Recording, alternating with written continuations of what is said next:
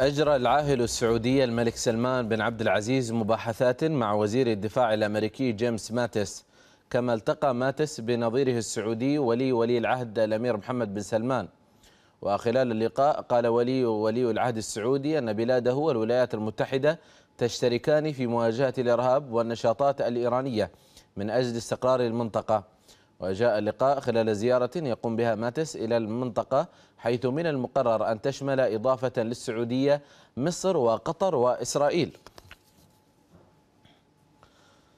في المقابل قال وزير الدفاع الأمريكي جيمس ماتس أن أي مشكلة في المنطقة وراءها إيران.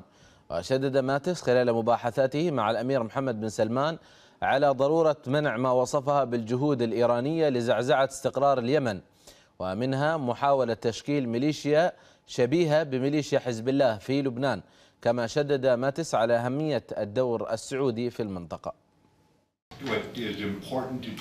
المهم اليوم هو اتفاقنا على تحديد الخطوات العملية لدعم تعاوننا المستقبلي. هناك اتفاق وتوافق بين قياداتنا على دعم وتعزيز هذا التنسيق والتعاون. وسنعمل على مواصلة دعمنا للمملكة في مواجهة التمدد الإيراني ونجعله أكثر فاعلية من خلال زيادة الدعم والتعاون العسكري والاستخباراتي بيننا. وما سننجزه اليوم هو فتح الأبواب نحو تعاون وتفاهمات أمتن وسنواصل ذلك نحو آفاق جديدة فعلى الرغم من أي اختلافات ما يجمعنا هو أكثر.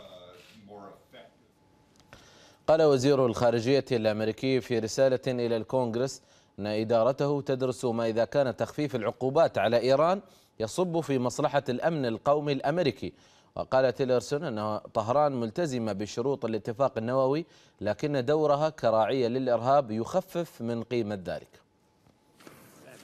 سمع الكونغرس أخيرا رأي وزارة الخارجية الجديدة في الاتفاق النووي مع إيران. ريكس تيلرسون قال إنه رغم التزام طهران بشروط الاتفاق إلا أن ذلك غير كاف. فهي وإن لم تطور قنابل نووية فإن في حوزتها أسلحة أكثر وأخطر ترعى الإرهاب في الشرق الأوسط. وعليه فإن الوزارة ستراجع ما إذا كان الاتفاق النووي يصب في مصلحة الأمن القومي الأمريكي أي أنها ستضع الاتفاق في إحدى كفتي الميزان والاستقرار الشامل في الشرق الأوسط في الأخرى.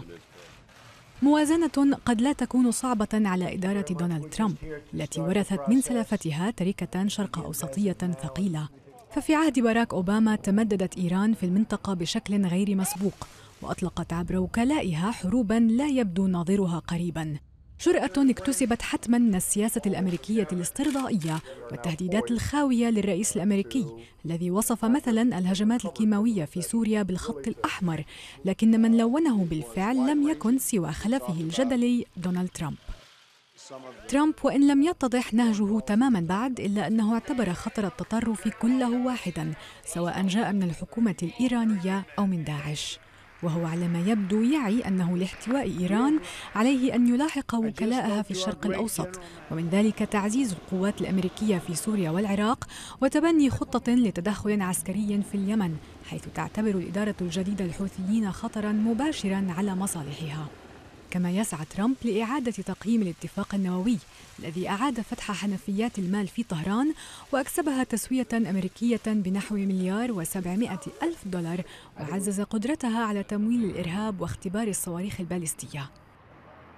خطوات سيدخلها دبلوماسي وجنرالات ترامب في معادلة حسابية واحدة لا مجزأة لاستنتاج مجموع التهديد الإيراني.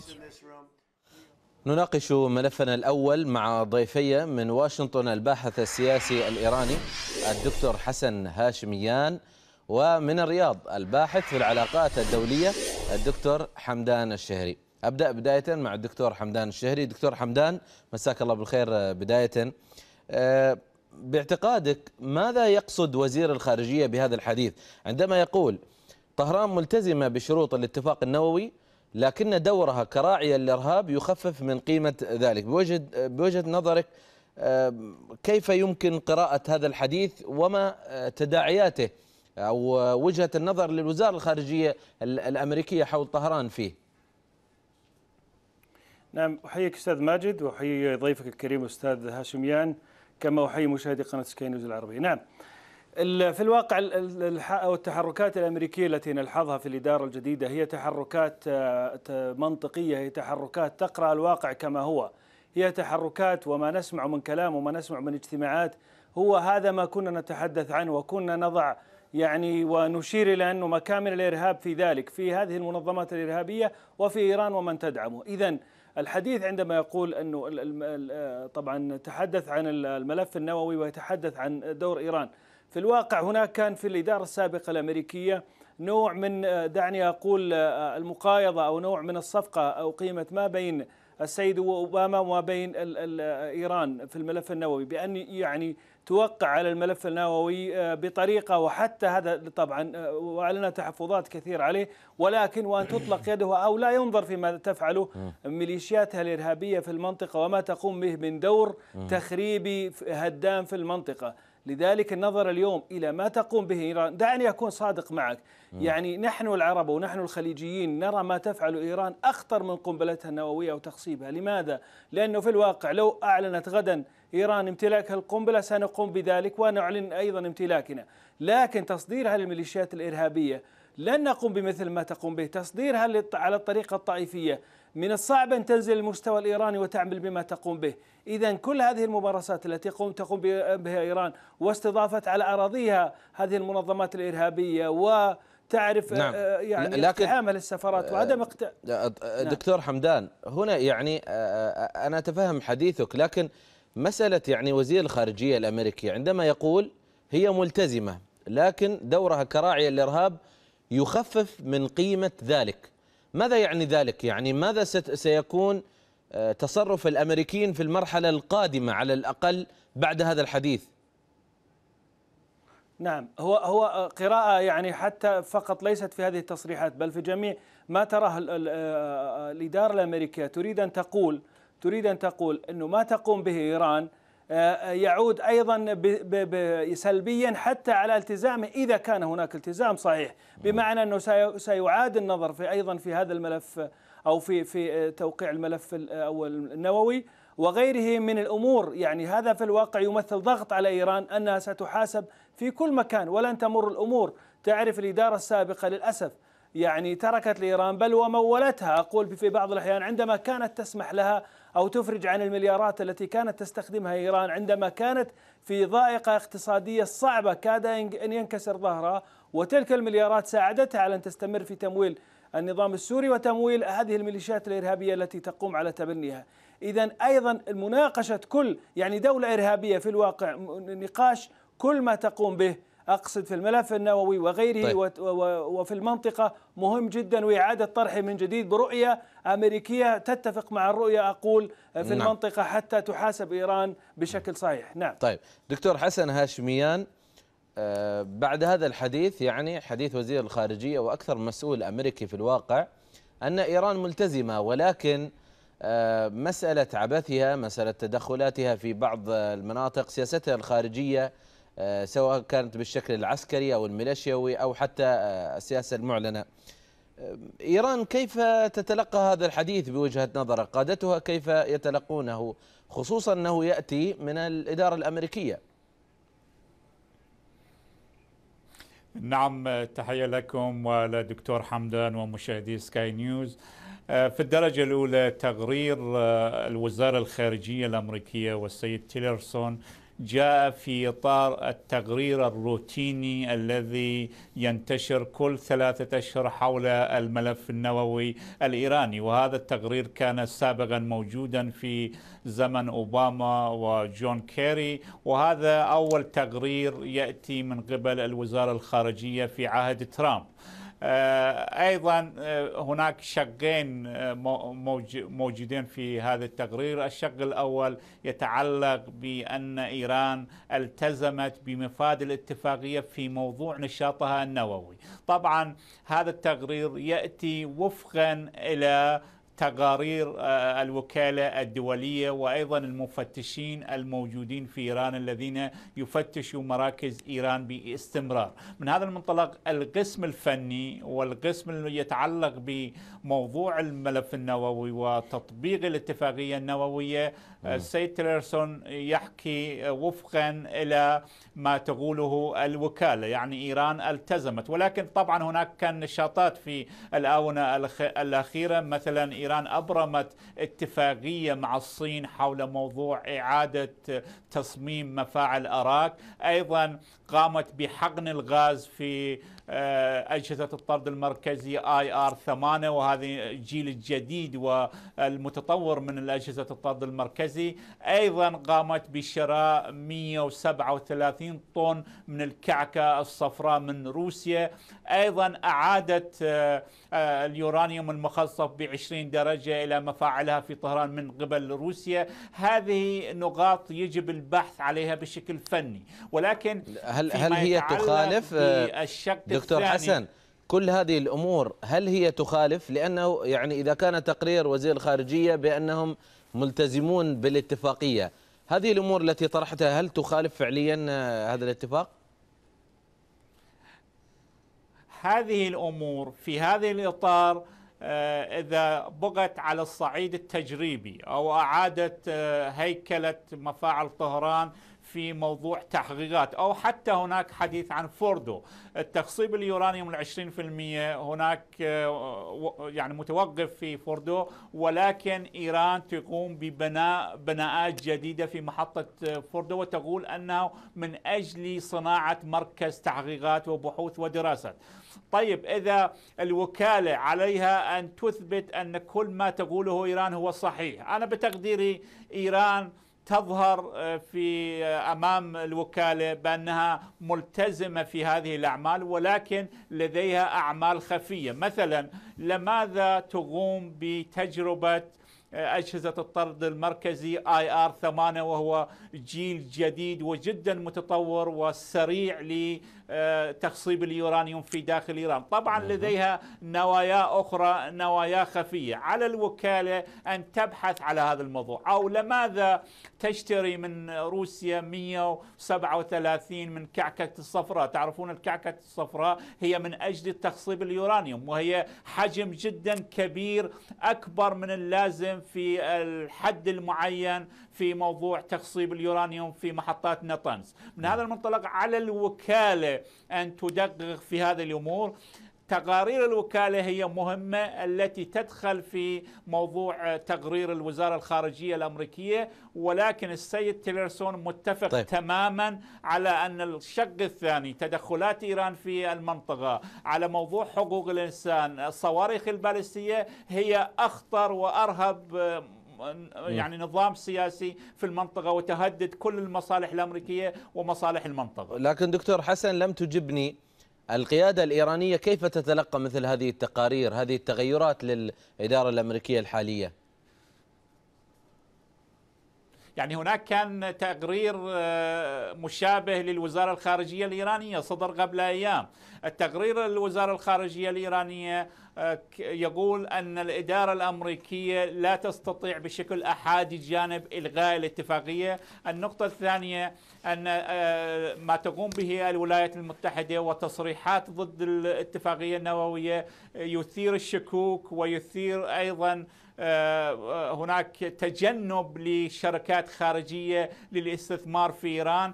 أيضا هناك نظرة للوزارة الخارجية وأيضا نظرة النظام الحاكم في إيران بأن لا يمكن إعادة بنود الاتفاقية النووية. إيران ترفض تماما إعادة آه، النظر حول البنود الاتفاقية. هذا الوجه الرسمي الذي يأتي من قبل آه، الوزارة الخارجية الإيرانية ولكن طبعا هناك متشددين موجودين يتحدثون ويعطون شعارات حول الاتفاقية النووية ويريدون آه، إجراءات أكثر صارمة ضد الولايات المتحدة. طيب دكتور حمدان آه، الشهري الآن بما أن الحديث يتم على مسألة ضغط أكبر على إيران هي ملتزمة بمسألة آه، المفاعلات النووية والحالة النووية والاتفاق النووي لكنها لها تدخلات آه، قد تبدو أخطر من الملف النووي كما يتم الحديث. هل تعتقد هناك مجال عند الإدارة الأمريكية في ربط الأمرين؟ بمعنى مجازاة إيران ليس فقط على التزامها بالحالة النووية والاتفاق النووية ولكن على الأمور الأخرى مثل التدخلات والقضايا الأخرى؟ نعم. أستاذ ماجد يعني إذا إذا حاولت القراءة أريد أن أقرأها بأكثر من طريقة. عندما قال آه، وزير الخارجية أنها ملتزمة في الشق النووي وتحدث عن آه، تدخلاتها في المنطقة وخطرها لعله يريد أن إدارة اللعبة بشكل آخر. يعني الإدارة الأمريكية السابقة كانت حريصة على الملف النووي لكن لم تحرص على تدخلات إيران. اليوم وكأنه يقول لا نحن نركز على آه، تدخلات إيران وسنترك الملف النووي آه، جانبا قليلا. لماذا؟ آه، يعني خداع إيران نقولها. لكن تعرف الملف النووي هو من الأهمية بمكان ليس فقط للولايات المتحدة بل للعالم لأنه امتلاك إيران للأسلحة النووية. ودولة مارقة دعنا نقول بكل صراحة دولة تدعم ميليشيات إرهابية، دولة لا تحترم القوانين الدولية، لا نعم. أعتقد نعم. أن هناك ثقة بأنها ستلتزم بهذا الملف النووي، لذلك سيكون هناك ضغط لكن هل سيكون الضغط الآن في البداية على الملف النووي أو على تدخلات إيران؟ ما نراه اليوم أكثر هو على تدخلات إيران ومحاولة أن آه، يعني آه، ميليشياتها آه، تخرج أو تضرب أو تضعف بأي طريقة.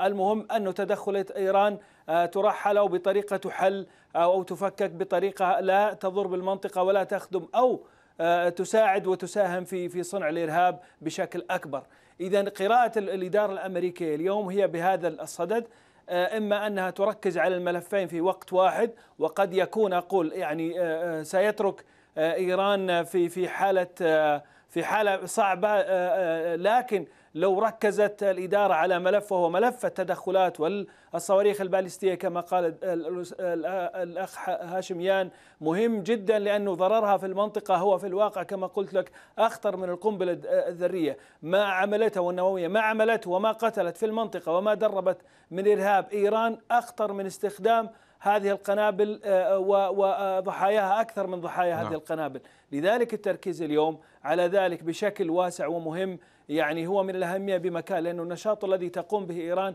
هو خطير جدا ليس فقط على المنطقة طيب. أقول على العالم لذلك الإدارة الأمريكية اليوم مدركة لذلك وتعرف أن حجم هذا قد يصل إليها ويصل إلى جميع العالم لأنه الإرهاب آه، آه، سيخلق إرهاب وستستمر العملية ولن يكون هناك أي استقرار لا في المنطقة ولا في العالم. طيب الدكتور حسن هاشميان طبعا آه، يأتينا هذا الخبر العاجل بأن إدارة الرئيس ترامب والرئيس دونالد ترامب آه، سيجري مراجعة للاتفاق النووي آه، بين الولايات المتحدة والقوى العظمى مع إيران هذا الخبر قبل قليل آه، دكتور من المعروف أن الاتفاق أدخل موال أموال طائلة بالمليارات كانت محجوزة أو كانت منقولة عند الولايات المتحدة الأمريكية على إيران ساعدها كثيرا في إنعاش اقتصادها الوطني وأيضا مسألة تمويل ميليشيات آه، تدخل في مناطق أخرى كما آه، شاهدنا.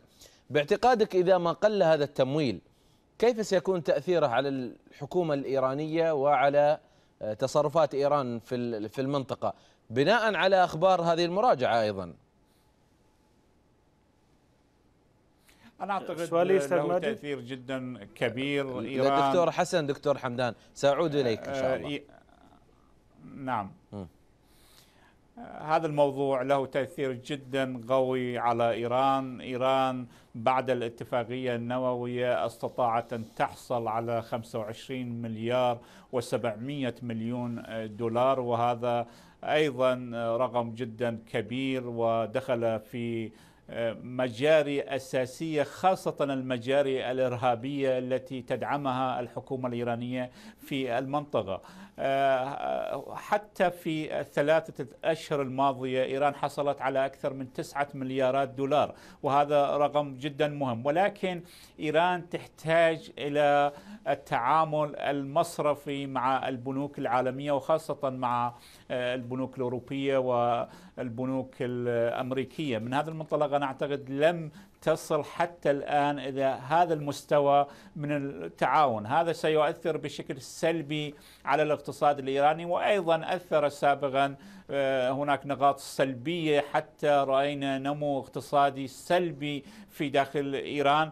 آه، الاقتصاد الإيراني أنتعش من وراء تصدير النفط الإيراني إلى الخارج. هناك 7% نمو الاقتصاد الإيراني في العام الماضي. هذه هذا النمو كان تحت تأثير إرجاع أو إعادة تصدير النفط الإيراني. آه، أنا أعتقد الأموال التي جاءت من الخارج إلى إيران حتى الآن لم تدخل في. معظمها لم تدخل في مجاري الاقتصاد الإيراني أو شريان الاقتصاد الإيراني. وأعتقد أن كل هذه الأموال أو مجموعة كبيرة من هذه الأموال صرفت على الميليشيات من حسن نصر الله إلى الحوثي في اليمن إلى بشار الأسد وإلى هادي العامري وغير هادي العامري والحشد الشعبي وما شابه ذلك. من هذا المنطلق أنا أعتقد حتى لديهم هناك مجموعات في أفغانستان أيضا. أنا أعتقد إيران عندما تحصل على هذه الأموال تستخدمها في آه، موضوع الإرهاب وتوسيع الإرهاب في المنطقة، من هذا نعم. المنطلق عندما نرجع إلى الإدارة الأمريكية والخبر العاجل الذي جاء بهذا الشكل، أنا أعتقد آه، هناك آه، هيئة معينة من قبل إدارة ترامب مهمتها النظر في إعادة تركيبة الاتفاقية النووية مع إيران. هذا العمل وهذه الدراسة بتقديري أنا ستستمر حتى طيب. الدكتور نهاية حسن الانتخابات الإيرانية اسمح لي أعود مع ضيفي الدكتور حمدان الشهري والدكتور حسن هاشميان دكتور حمدان باعتقادك يعني بما أننا استمعنا إلى هذا الموضوع هناك فريق لمسألة تقييم هذا الاتفاق وما شابه إعادة النظر في هذا الاتفاق أو تقييمه أو حتى تعديله خصوصا أنه لم يكن يعني فقط بين الولايات المتحدة وإيران هناك خمس دول عظمى زائد واحد آه، قامت به. هل تعتقد هو ممكن؟ وما توابع هذه المراجعة بالنسبة للإدارة الأمريكية؟ طبعا كما ذكرت هو أكثر من دولة موجودة مع الولايات المتحدة لكن أعتقد أن الولايات المتحدة عندما تقوم أو تقود هي أو تريد شيء ما أعتقد هي لوحدها تمثل إذا لم أقل يعني أبالغ أكثر من 50% بمعنى أنه لها ثقل كبير وتستطيع أن تطلب من الطرف الآخر. أعتقد أن هناك أيضا دول تدرك وخصوصا في الدول الأوروبية يعني فقط ممكن روسيا لوحدها لكن أقصد الدول الأوروبية. ترى ما تفعل أيضا. إيران وترى خطر إيران. م. والصين نعم. م. لكن الصين هي دائما مواقفها دائما لا تكون بنفس الحدة الروسية بمعنى أنه ليست بنفس الطريقة التي تستخدمها. روسيا أقول أنه آه، آه، هذه الدول تستطيع أن أن تعيد أو أن عندما رأت جدية هذه ال ال ال ال الإدارة بل حتى رأينا آه، ترحيبهم بالضربة الأمريكية في سوريا سمعنا الكلام البريطاني والفرنسي وغيره سمعنا الدور الأوروبي يعود بقوة وكأنه يريد أن أن يعيد ترتيبات أيضا المنطقة ويتفق مع ما تفعله الولايات المتحدة. إذا هذه من جهة. من جهة أخرى الضغط على طبعا إيران بالملف النووي من جهة وتدخلاتها في المنطقة من جهة أخرى سيجعل إيران في حيرة من أمرها يعني سيجعلها لا شك تتنازل عن إحداها وبسرعة كما فعلت في, في, في, السابق. لكن عندما ترى الجدية وعندما ترى العصا أقول التي تستخدمها الولايات المتحدة ليست الجزرة اللي كانت التي كانت يعطيهم إياها دائما وأبدا السيد أوباما لكن يروا أن هناك من سيستخدم ضدهم القوة سيتنازلون عن أمور كثيرة وسيكون هناك حل طبعا في في آه، في هذه الملفات. طبعا الملف النووي هو ملف طبعا شائك لكن أعتقد إنه لن يكون لن يسمح لإيران بأن تمتلك القنبلة النووية بهذه الطريقة. أعتقد إنه سيكون هناك ترتيبات أخرى وإعادة في هذا الملف.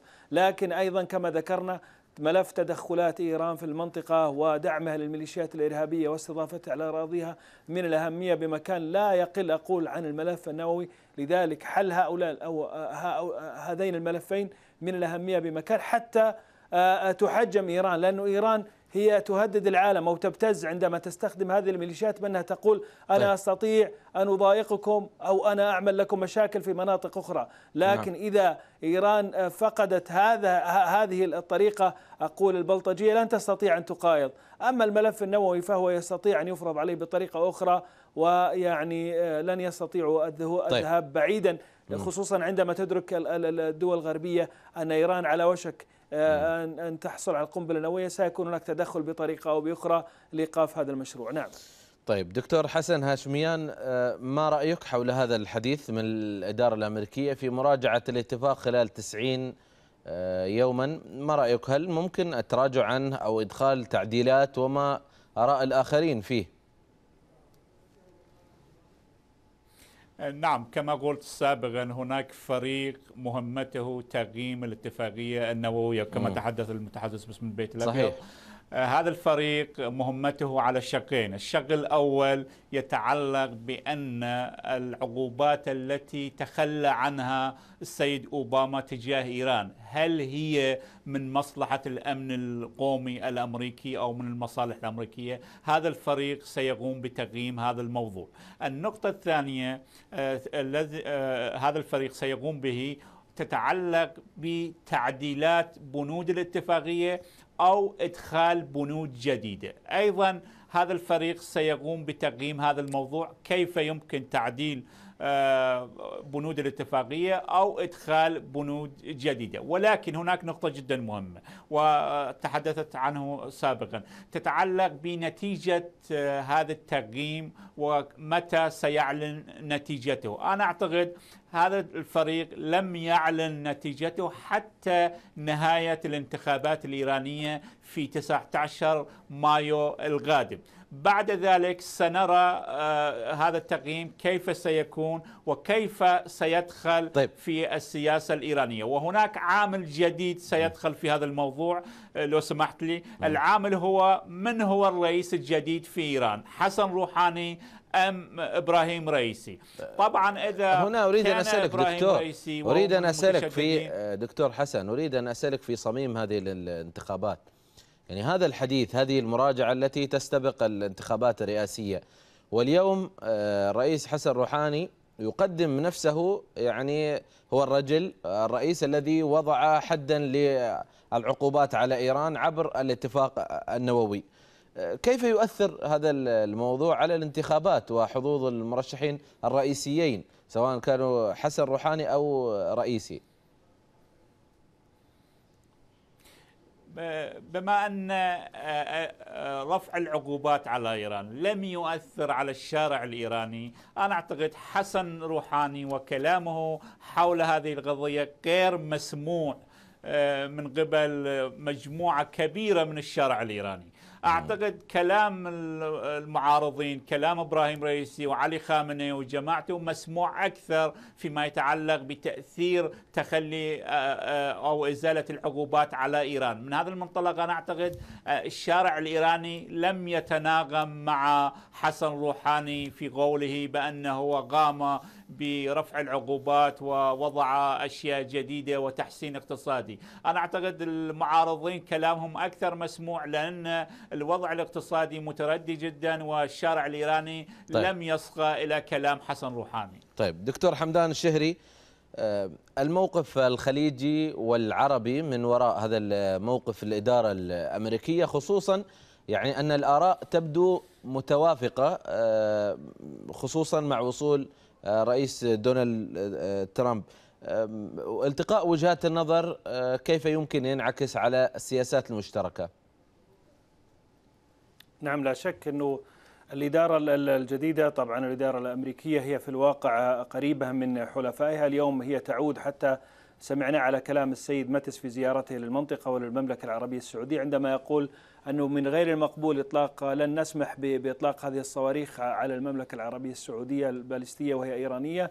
عندما يقول يجب أن يكون هناك حلا سياسيا في اليمن يعني أنه سيكون هناك دور الامم المتحدة التي كانت دورها سلبيا. تعرف في آه، فيما مضى أيضا عندما يقول اليوم يقول من الرياض أنه أي اضطراب أو أي مشاكل في المنطقة هي وراءها إيران بمعنى هناك اعتراف هناك حديث بأنه سيستخدم ضد إيران. أنا أتوقع أنه نحن اليوم والولايات المتحدة بالإدارة هذه نعود إلى إلى الشراكة الاستراتيجية التي كانت بينهم وإلى أن يكونوا حلفاء كما كانوا.